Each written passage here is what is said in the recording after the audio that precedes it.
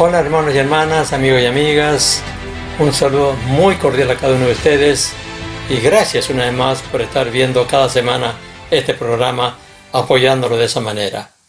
Y un saludo muy especial a todos los maestros que también están eh, siendo fieles viendo este programa, estos estudios, porque el martes fue el Día del Maestro, ¿verdad? Y no hay duda que el ser maestro es una de las profesiones más nobles a las cuales puede optar, el ser humano. Y sobre todo aquellos que son maestros de la palabra de Dios. Eh, como en mi caso, yo doy gracias a Dios por este gran privilegio de servirle en la tarea de formar las vidas y ayudar a los hermanos, a los hijos de Dios, a crecer en su vida espiritual eh, por medio de la palabra del Señor y con la ayuda del Espíritu Santo. Y que todo esto siempre sea para la gloria de Dios y bendición de nuestros hermanos y bendición de la iglesia. Pues bien, en esta serie que hemos titulado Conociendo el corazón de Dios, estamos estudiando el Salmo 119.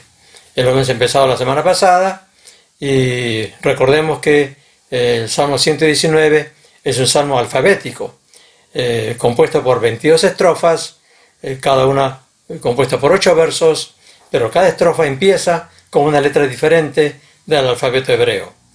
Pero tiene un solo tema central, eh, un tema único, que es la palabra de Dios, a la cual se le puede llamar de diferentes maneras, mandamientos, ley, juicios, estatutos, caminos, pero eh, el tema es único, la palabra de Dios. Entonces, en este salmo, la quinta estrofa que nos toca estudiar hoy, eh, y que hemos empezado la semana pasada, es como una oración concentrada dentro de la oración extendida, que es el Salmo 119, y que contiene ocho peticiones, una por cada uno de los versos que la conforman. Entonces vamos a leer nuevamente eh, en forma completa la estrofa para no perder la visión panorámica de esta oración que hemos llamado una oración conforme al corazón de Dios.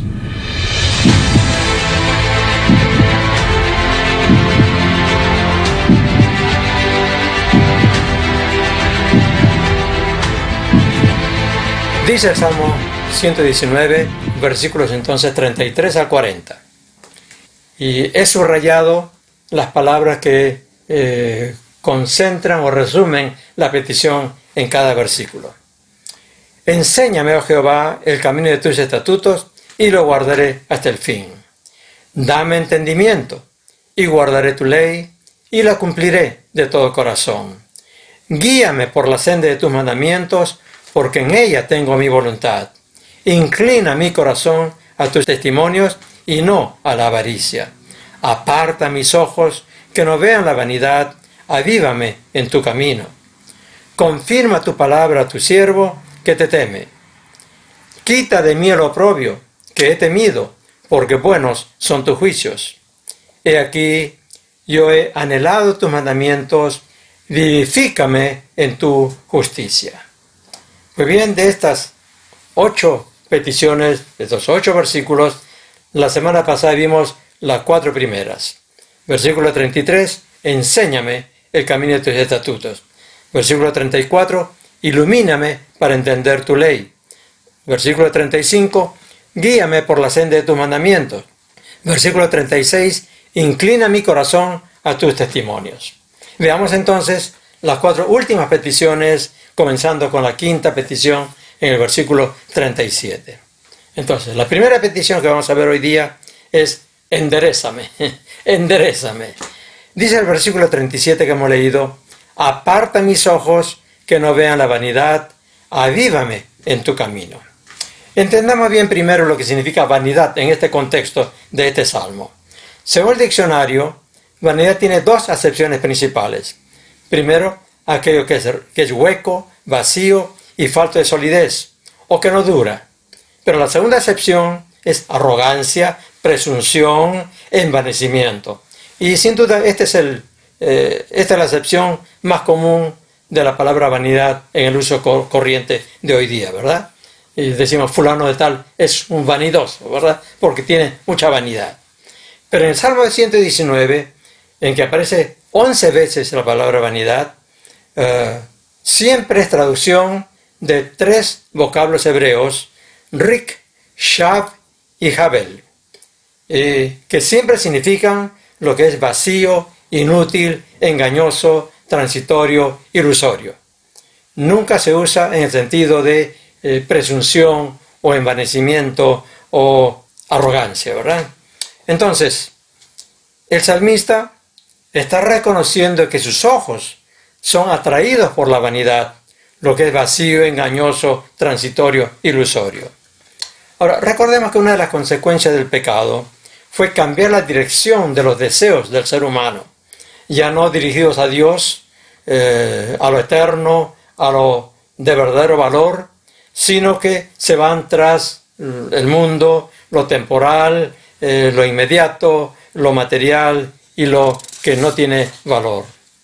Y esa es la característica más saltante en el mundo desde la época moderna, en la que el materialismo se impuso definitivamente y que nuestra época se ha combinado con eh, el hedonismo, o sea, la búsqueda del placer, el deseo del éxito, el vivir para el hoy, eh, no pensar en el mañana, y todo ello es lo que el apóstol Juan eh, llama en 1 Juan capítulo 2, porque todo lo que hay en el mundo, los deseos de la carne, los deseos de los ojos y la vanagloria de la vida, no provienen del Padre, sino del mundo. Y el mundo pasa y sus deseos, pero el que hace la voluntad de Dios permanece para siempre. Vemos aquí que el apóstol Juan lo llama los deseos del mundo, ¿verdad? Sin duda, los deseos de la carne, los deseos de los ojos y la vanagloria de la vida es lo que impera hoy. A nadie con el espíritu posmoderno de nuestros días le interesa hacer la voluntad de Dios, que es lo que nos hace permanecer para siempre, eh, de acuerdo a la palabra del Señor. Es decir, es lo que nos hace entrar en la dimensión de lo eterno, en la dimensión de lo que es verdadero en la vida. Y Jesús nos exhorta fuertemente en Mateo capítulo 6, diciendo, no os hagáis tesoros en la tierra, donde la polilla y el orín corrompen, y donde ladrones minan y hurtan, sino haceos tesoros en el cielo, donde ni la polilla ni el orín corrompen, y donde ladrones no minan ni hurtan, porque donde esté vuestro tesoro, allí estará también vuestro corazón. Es decir, donde se van nuestros ojos, como el tesoro, allí también estará, dice, nuestro corazón. Así que, a la luz de todo esto, cuando David pide a Dios, aparta mis ojos, que no vean la vanidad, está pidiendo que Dios lo haga eh, prácticamente ser ciego a lo vano, a lo que no tiene valor en el mundo, y que más bien se abran a lo eterno, a lo que tiene verdadero valor. No quiere decir esto que tengamos que volver al monasticismo de la Edad Media y tengamos que aislarnos del mundo, ¿verdad? Podemos disfrutar de las cosas sanas del mundo, pero siendo conscientes de que son temporales, que son transitorios, que son pasajeros, que son intrascendentes y que siempre tienen que estar subordinados a lo que es verdadero y eterno. Está, como dijo el Señor en Mateo capítulo 6, versículo 33, un texto que todos recordamos de memoria. Mas buscad primeramente el reino de Dios y su justicia, y todas las demás cosas os serán añadidas. ¿Verdad? Eh, o sea, primero tenemos que buscar el reino de Dios. Debe ser lo prioritario en nuestra vida. Y las cosas pueden venir entonces eh, más adelante. Entonces, vayamos con esto a la segunda petición, que es confirma. El versículo 38 dice, confirma tu palabra a tu siervo que te teme. Confirma tu palabra a tu siervo que te teme. ¿Cuál fue la palabra dada por Dios a David? Sin duda fue la promesa hecha por medio del profeta Natán, eh, que ha sido, ha sido dado en llamar el pacto davídico o el pacto de Dios con David. Y encontramos el resumen de este pacto en Primera Crónicas capítulo 17, los versículos 11 y 12. Y cuando tus días, le dice Dios eh, a David por medio del profeta, y cuando tus días sean cumplidos para irte con tus padres, levantaré descendencia después de ti a uno de entre tus hijos, y afirmaré su reino. Él me edificará casa y yo confirmaré su trono eternamente. La palabra que David pide a Dios que le confirme incluía tres cosas. Reino, casa y trono. Es decir, reino, eh, sin duda refiriéndose al reino eterno de Cristo, casa, una descendencia, y trono, autoridad, gobierno. Todo esto se cumplirá a través de Jesús, que es del linaje de David, de la descendencia de David, y por eso se le llama también el hijo de David, ¿verdad? Nosotros somos herederos de las promesas de Dios, eh, tanto Abraham como David, pero eh, de las promesas espirituales, no las terrenales, la de riquezas o la de las tierras, eh, etc. Pero sí las promesas espirituales. por, por lo tanto, así como David recurría a las promesas de Dios para fortalecerse y, en los días difíciles que tuvo que vivir, así también nosotros debemos recurrir a las promesas de Dios. Eh, no solamente las promesas que dio Abraham y David, sino todas las demás promesas que están en la palabra de Dios para nosotros como creyentes, como hijos de Dios, como cristianos, ¿verdad? Eh, y con esa promesa entonces nos fortalecemos para poder afrontar los días difíciles que nos toca vivir y que nos tocará vivir en el futuro. Ahora, recordemos lo que dice Hebreos capítulo 6, versículos 17 y 18. Por lo cual, queriendo Dios mostrar más abundantemente a los herederos de la promesa, herederos de la promesa somos nosotros, la inmutabilidad de su consejo, interpuso juramento para que por dos cosas inmutables, eh, veamos, eh, promesa y juramento, que son las dos cosas inmutables, en las cuales es imposible que Dios mienta, tengamos un fortísimo consuelo los que hemos acudido para asirnos de la esperanza puesta delante de nosotros. Es decir, el escritor de los hebreos, la palabra de Dios, nos dice que por dos cosas que no pueden cambiar, la promesa de Dios y el juramento de Dios, en la cual es imposible, imposible que Dios mienta, que eso sea lo que nos consuele y nos fortalezca en, los días que nos toca vivir, eh, por muy difíciles que sean. Así que como heredero de la promesa, las promesas de un Dios inmutable y que no puede mentir, hagamos eso en nuestras oraciones, pidamos como David que Dios confirme en nuestros corazones sus promesas. Porque a veces podemos dudar de ellas o no tomarlas en cuenta, pero pidamos que el Espíritu Santo nos haga recordar y, nos, eh, como con un sello, selle en nuestros corazones sus promesas, eh, nos confirme esa promesa en nuestro corazón, para que sea nuestra fortaleza y ánimo y el ancla del alma, como llama el escritor de los hebreos, el ancla del alma en los días difíciles, repito, que serán más difíciles en los días venideros. La tercera petición, protégeme. En el versículo 39 dice, quita de mí el oprobio que he temido, porque buenos son tus juicios. Quita de mí el oprobio que he temido.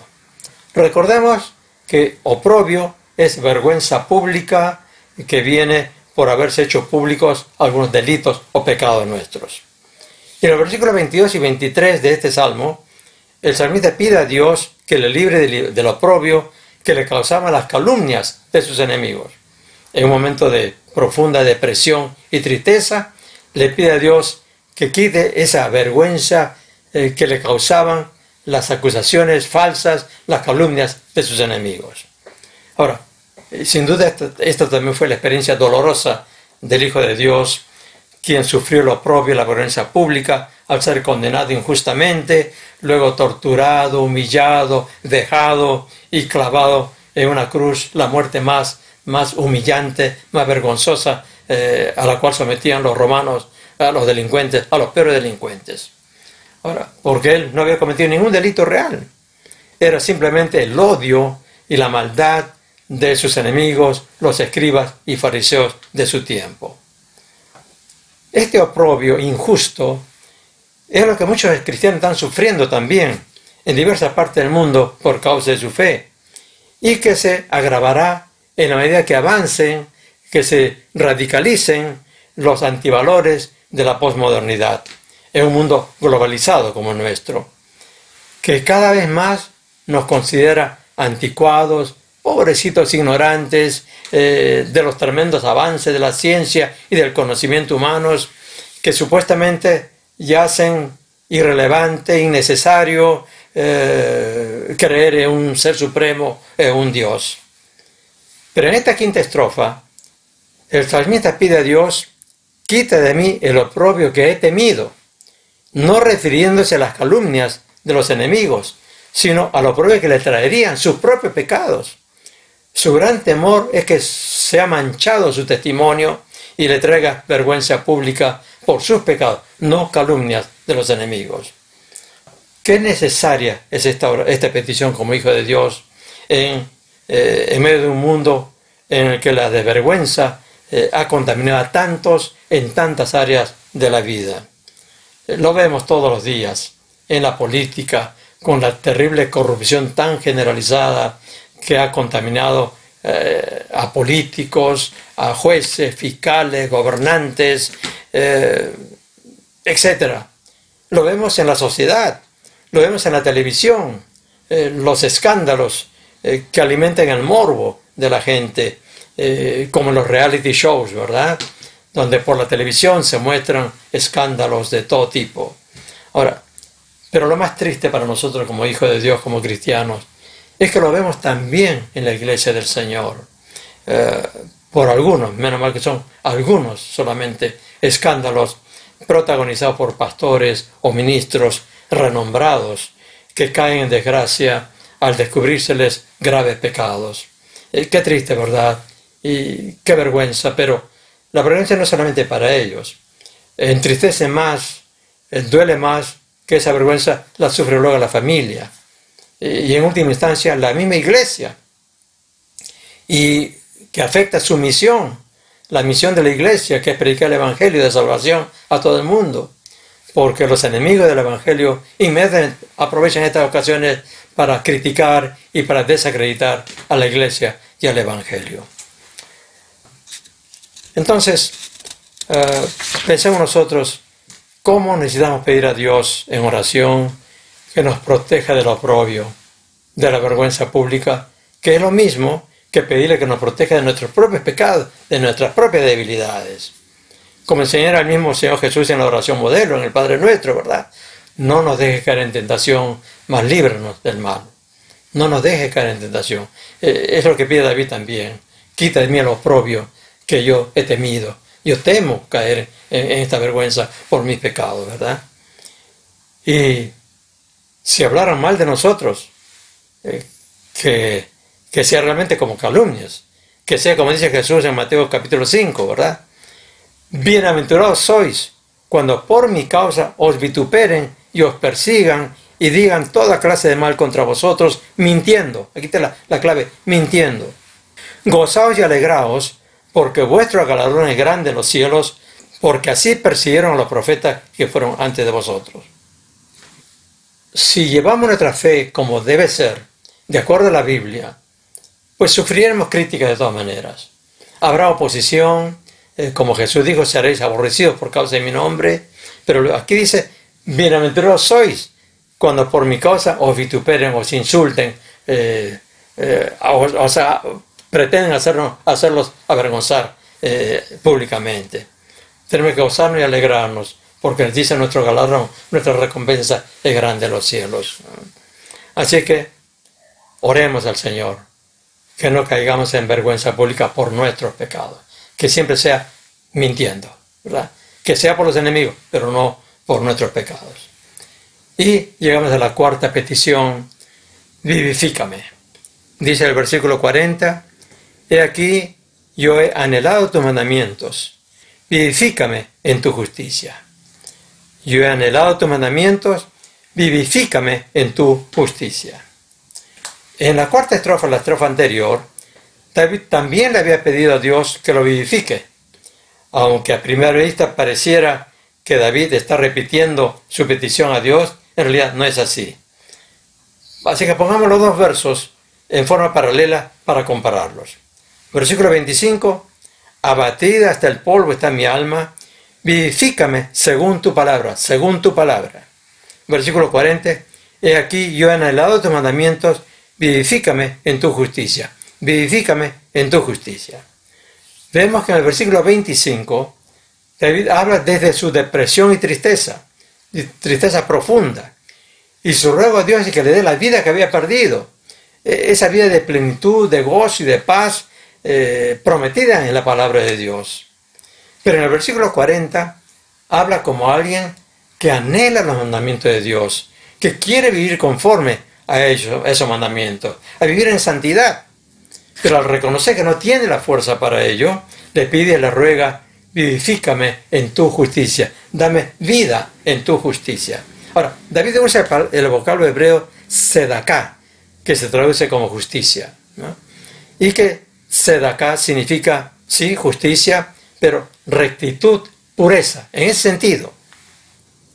Por lo tanto, en este versículo 40 no está hablando de la justicia de Dios como juez, que castiga al malo eh, y premia al bueno, sino está hablando de, la rectitud de Dios, de su pureza, de su santidad. Entonces, ahora sí podemos entender el ruego de David, entenderlo bien el ruego de David. Quiere vivir de acuerdo al mandamiento de Dios, anhela vivir en santidad, y para ello pide oración que le dé de su santidad, de la santidad de Dios. Ahora, es un, eh, como diría, es una petición bastante atrevida, ¿verdad? Le pide que Dios le, le transmita, le dé de su propia santidad. Pues David no podía saber que siglos después, gracias a la obra redentora del Señor Jesucristo, el Espíritu Santo vendría a morar en nosotros, creyentes, pero pecadores, simplemente porque hemos creído en Jesús como nuestro Salvador y Señor. Pero como David, solo si anhelamos los mandamientos de Dios, si anhelamos de veras vivir en santidad, el Espíritu Santo nos ayudará a crecer en santidad, restaurando más y más la imagen de Dios, la semejanza de Dios en nosotros.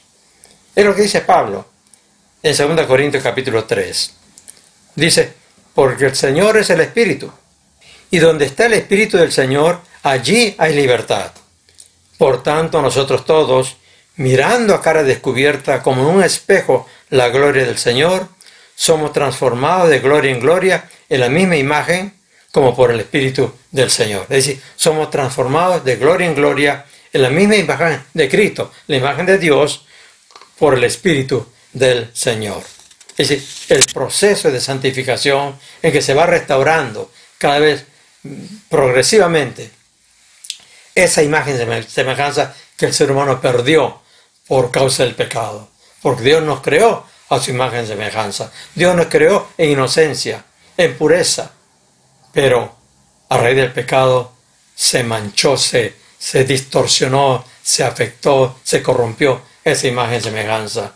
Y hemos heredado nosotros esa naturaleza pecaminosa, corrompida de Adán y Eva.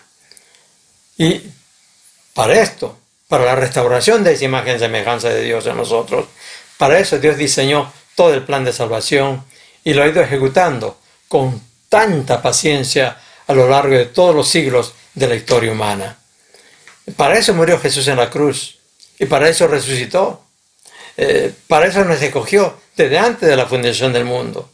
Para eso nos ha dado, nos ha dado el Espíritu Santo nada más conforme al corazón de Dios que seamos santos, como nuestro Padre Celestial es santo. Ahora, esto se repite muchas veces en la Biblia. Lo dijo Dios al pueblo de Israel hace tanto tiempo. En Levítico capítulo 11, versículo 44, Dios le dice al pueblo de Israel, porque yo soy Jehová vuestro Dios, vosotros por tanto os santificaréis y seréis santos porque yo soy santo. Noten ustedes, es, el mandamiento, es el deseo del corazón de Dios. Seréis santos porque yo soy santo, dice Dios. Y esto lo repite el capítulo 19 del mismo libro de Levítico. Lo dice Jesús en Mateo capítulo 5, versículo 48. Sed pues vosotros perfectos como vuestro Padre que está en los cielos es perfecto. Sed pues vosotros, es, es un mandato, sed, está en imperativo. Sed pues vosotros perfectos como vuestro Padre que está en los cielos es perfecto. Y lo reitera el apóstol Pedro en 1 Pedro capítulo 1, versículos 15 y 16.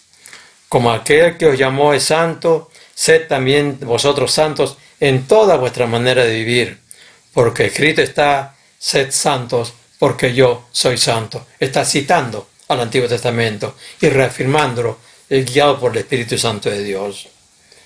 ¿Cómo necesitamos la obra santificadora del Espíritu Santo para poder vencer las tremendas presiones que la carne, el mundo y Satanás ejercen, ejercen sobre los hijos de Dios? Estamos metidos en el mundo. Como dijo Jesús, no son del mundo, pero están en el mundo. Y nos ha enviado al mundo. No quiere que nos aislemos. Quiere que vivamos nuestra vida aquí, rodeados del mundo, pero sin contaminarnos. Eh, para eso nos ha dado el Espíritu Santo, para defendernos, para tener la fuerza, la capacidad de resistir todas las presiones de este mundo y mantenernos eh, apartados del pecado, pero llevando el mensaje del amor y de la compasión de Dios a cada corazón. Y gracias a Dios que nos ha dado el recurso de la oración, un tremendo recurso de la oración, para pedirle y recibir de su santidad, porque eso es lo que más quiere para nosotros. Concluyendo, ya tenemos completa la oración que eleva David en su, esta quinta estrofa del Salmo 119 con sus ocho peticiones que sin ninguna duda son peticiones conforme a la voluntad de Dios. Y si son conforme a la voluntad de Dios, pues entonces tenemos la certeza, la seguridad de que serán respondidas por el Señor. Porque en 1 Juan capítulo 5, el apóstol Juan dice lo siguiente, y esta es la confianza que tenemos en Él, que si pedimos alguna cosa conforme a su voluntad, Él nos oye. Y si sabemos que Él nos oye, sabemos que tenemos las peticiones que lo hayamos hecho. Aquí está en forma tan sencilla, tan simple, tan clara para entender. Tenemos que orar conforme a la voluntad de Dios. Y estas ocho peticiones son absolutamente conformes a la voluntad de Dios.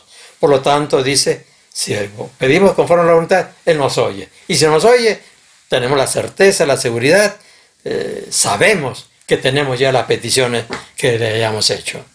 Entonces, recordemos siempre estas ocho peticiones de una oración conforme al corazón de Dios. Primero, enséñame el camino de tus estatutos. Ilumíname para entender tu ley. Guíame por la senda de tus mandamientos. Inclina mi corazón a tus testimonios. Enderezame para no salirme de tus caminos. Confirma tus promesas en mi corazón. Protégeme de ser avergonzado por pecar contra ti. Vivifícame en tu santidad por tu Espíritu, por tu Espíritu Santo. Una oración, sin ninguna duda, conforme al corazón de Dios, que debe ser parte infaltable en nuestra vida de oración y que impulsará nuestro crecimiento hasta que se cumpla lo que dice el apóstol Pablo en Efesios capítulo 4, versículo 13. Y con esto terminamos este estudio. Hasta que todos lleguemos a la unidad de la fe y del conocimiento del Hijo de Dios a un varón perfecto a la medida de la estatura de la plenitud de Cristo. Eh, fíjense ustedes la meta que nos pone la palabra de Dios, la meta que está en el corazón de Dios para ti y para mí. Que lleguemos a la medida de la estatura de la plenitud de Cristo. Qué cosa tan tremenda, ¿verdad? Ahora, si es la voluntad de Dios, es porque es posible. Es posible. Y para eso nos ha dado todos los recursos y entre tantos recursos, lo más importante, nos ha dado su palabra, nos ha dado el Espíritu Santo y nos ha dado el recurso de la oración. Así que nunca olvidemos esta oración conforme al corazón de Dios. Hagámonos parte de nuestra vida y sigamos nuestro camino hacia la perfección eh, con toda confianza en el amor de Dios y en el poder del Espíritu Santo en nuestra vida. Amén, hermanos.